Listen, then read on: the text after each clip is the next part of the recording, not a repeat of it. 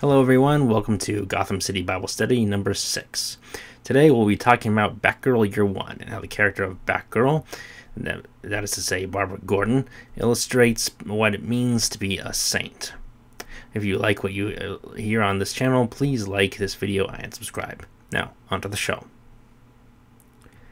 In the process of creating this podcast episode, it took me a little extra time to figure out how to properly analyze Batgirl Year 1. This comic book, which provides what is easily the definitive retelling of how Barbara Gordon became Batgirl, is the first story I've looked at which is centered around a female character. I naturally, therefore, thought that a great comic book heroine might be comparable to a great woman of the Christian religion. An early candidate was the Virgin Mary, though I later thought that the Old Testament character of Ruth might be better. But as I gave more thought to Barbara's story as depicted in Batgirl Year 1, I realized that I'd have to step away from the decisively ecumenical approach I've taken in previous videos and lean into my status as a member of the Roman Catholic Church. The reason for the shift in theological perspective which this episode contains is tied up in the distinctly Catholic concept of sainthood, and how Batgirl is a Class A study in what it means to be a saint. Batgirl Year 1 was made by the same creative team which produced Robin Year 1, with Chuck Dixon and his colleagues really nailing it in this 2003 comic book. It tells the story of how Barbara Gordon went from a computer savvy martial arts enthusiast to an important superheroine who managed to gain the confidence and trust of even the notoriously unflappable Batman. Batgirl Year 1 sees Barbara successfully overcoming the obstacles which block her way to becoming a superhero, similar to how many saints had overcome a long series of obstacles while striving to live holy lives. But more than what she actually does, the crux of the matter lies in why Barbara wants to do those things in the first place.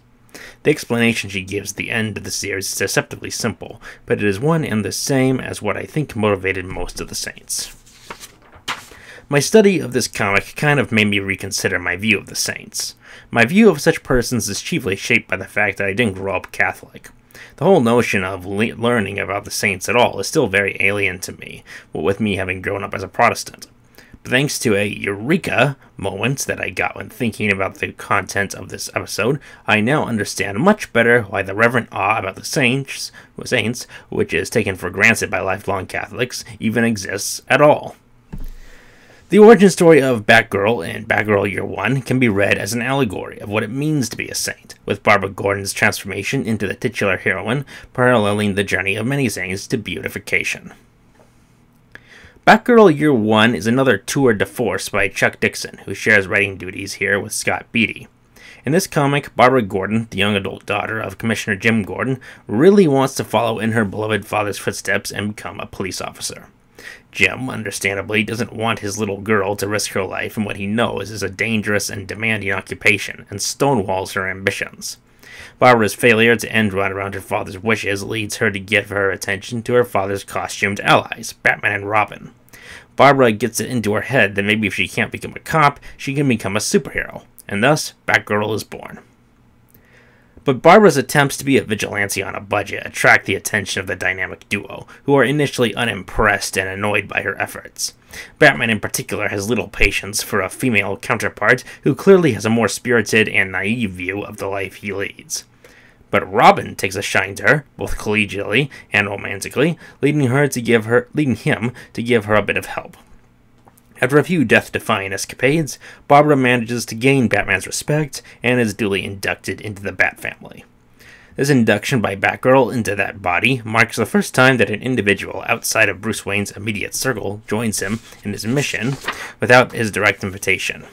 Even Dick Grayson had a front row seat to Batman in action as Bruce Wayne's ward.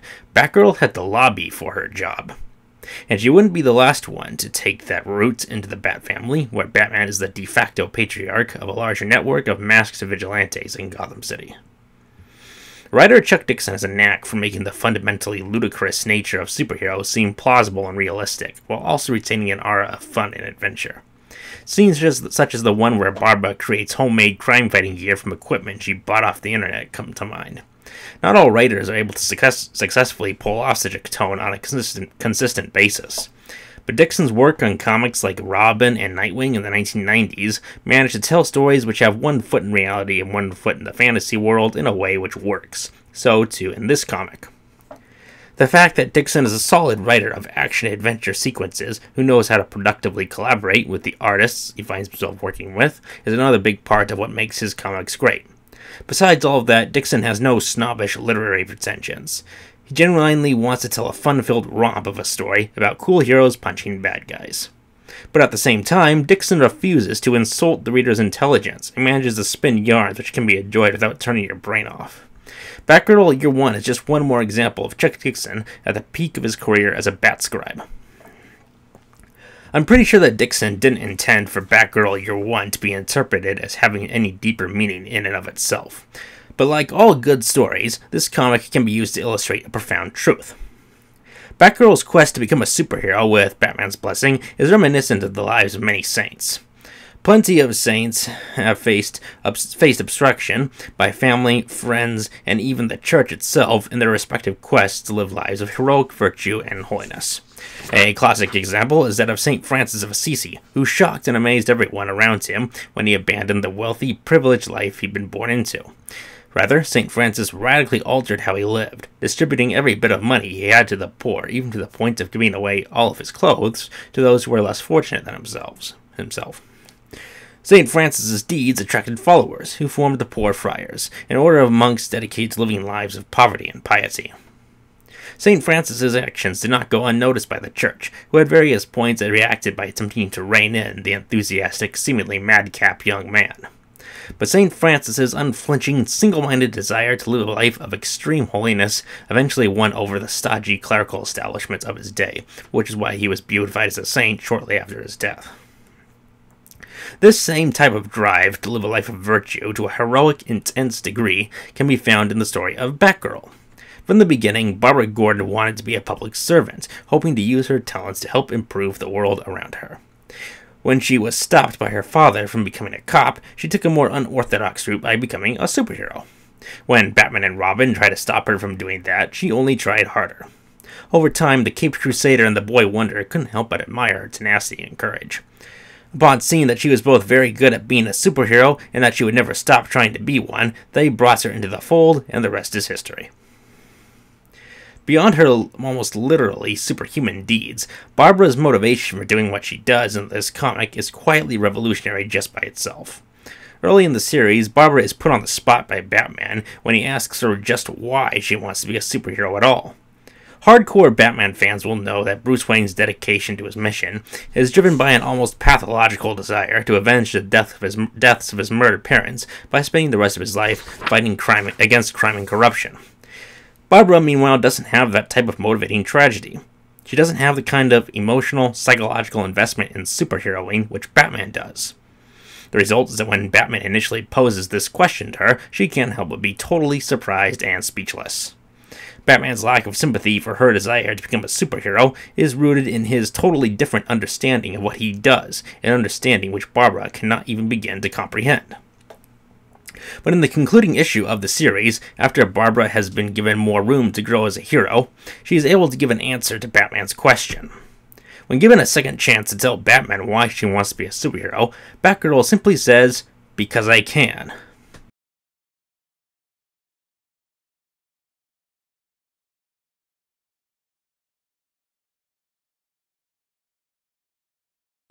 These three simple words, because I can, actually sum up the motivation for a lot of classic superheroes who aren't Batman, including figures as venerable as Superman and Wonder Woman. The typical motivation for superheroes in the early days of comic books featuring that sort of character was often quite uniform, almost all usually following the model set by Superman. The origin of most early superheroes in the golden age of comics, in the 1940s, featured a well off individual with a glamorous occupation, almost always someone who was already a square jawed alpha male. This person would immediately decide to use their newly acquired powers or abilities to fight for truth and justice as a costumed adventurer because they could. The comic reading public's fatigue with the Superman model is part of the reason why the tragic, more neurotic characters produced by Marvel Comics, such as Spider Man and the X Men, became so popular so quickly. But Barbara's terse, straightforward explanation for why she wants to be a superhero is very much a back to basics affair. She wants to do good because she thinks that such a thing is worth doing by itself, in the same manner that a scholar might want to learn and acquire knowledge for its own sake. The fact that her father, super cop Jim Gordon, essentially operates by the same philosophy probably explains a lot. The assumption made by both the creators of the Golden Age superheroes and by Dixon and Company in 2003 is that heroism is the default, not the opposite. The operating idea of these stories is that the natural, logical thing to do when given the ability to do extraordinary things is to use those abilities for good. The Marvel method of creating heroes with flaws and insecurities was new and original, in part because it produced superheroes who actively tried to rebel against this assumption, almost always unsuccessfully into dramatic effect. In the case of Barbara Gordon, when she says that she wants to be a superhero and fight crime because she is capable of doing so and wants to do so, she is actually harkening back to the earliest days of superhero stories. She is, in effect, appealing to first principles. What does all this have to do with Catholic saints? Plenty.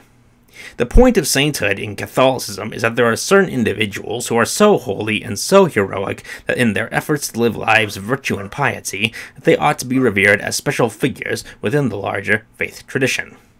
For the Protestants in the audience, I don't want to get into the weeds of trying to explain why Catholics feel this way about saints, and I don't want to get bogged down in an argument about the theological soundness of this custom. Such a discussion is beyond the scope of this video, and frankly above my pay grade to conduct. I do, however, want to shed some light on how the story of Batgirl plays into the story of a lot of saints. Barbara tells Batman that she wants to be a superhero and to do good for its own sake. She tells him that she wants to risk her life and put aside her own well being in order to adopt a lifestyle of extreme virtue, all because she thinks that doing so is worthwhile by itself. What I mean to say here, hopefully without cheapening the concept in the minds of some listeners, is that the motivation of a saint is typically one and the same as the motivation for a classic old school superhero. That, motion, that motivation being a desire on the part of said saint to live a life of extreme holiness, all because they can. Just like saintly figures from Abel to Mother Teresa endured great privations and made great sacrifices to live lives of godliness for the sake of godliness, so too do classic heroes in the vein of Superman do the same thing, fighting for truth and justice for the sake of truth and justice. Batgirl is a more humble, human example of a superhero in that vein, and the story related in Batgirl Year 1 contains an understated degree of depth in that regard. This is the eureka moment I mentioned earlier. This is what popped into my head as I was thinking about how to approach Batgirl Year 1. This idea that superheroes, particularly classic superheroes, are analogous to saints is what made it possible for me to conduct this study at all. To summarize, this Batgirl origin story is an amazing comic book. It represents a solid example of what writers and artists from a bygone generation were capable of creating. At just short of 20 years old, it has passed the test of time and remains worth reading today. In terms of what it can illustrate on a spiritual level, the story of Barbara Gordon strongly parallels the lives of many saints, both famous and obscure. Like Barbara, these holy men and women lived lives of radical virtue, which for them took the form of all consuming piety, charity, and self denial. Barbara's journey to becoming a superhero may be a bit more flamboyant and outlandish than the biographies of even the most colorful of the saints, but the similarities are still there. On a more nuanced level, Barbara's uncomplicated, no nonsense justification for wanting to be a superhero says volumes about what drives a lot of saints. Just like Batgirl only wants to do what a superhero does for its own sake, saints have one concern and one concern only to be godly for the sake of being godly. On a basic level, such a philosophy is what defined the first and greatest superheroes, and which continues to define them in their best stories. As mentioned previously, Batgirl Year 1 is probably not meant to communicate an explicit philosophical or moral truth. But the story of Barbara Gordon can still function as a model of the idea of sainthood, with Barbara's story reflecting how many saints become, became saints at all. The attitude which all saints must possess is summed up in a quotation from St. Paul the Apostle in the second epistle to Timothy. In that letter, Paul is writing his final message to his protege and surrogate son, a young pastor named Timothy. When Paul wrote this letter, he was awaiting execution during the Roman Emperor Nero's campaign of terror against the early Christians. As he sat in prison, Paul wrote a set of words which, in one form or another, sums up the driving rationale which all saints have. In 2 Timothy 4 8, St. Paul wrote, From now on there is reserved for me the crown of righteousness, which the Lord, the righteous judge, will give me on that day, and not only to me, but also to all who have longed for his appearing. Batgirl may have been questing for a cape and cowl rather than a crown of righteousness, but all the same, she provides a titanic example to everyone who wants to know just what kind of mindset goes into requiring sainthood. Not everyone can become such a saint, but anyone can do what they can where they are to live a saintly life. It's all a matter of choosing to answer God's call to do so. We hope you have enjoyed this episode of Gotham City Bible Study. And if you like what you see here, click like uh, and subscribe. Thank you very much.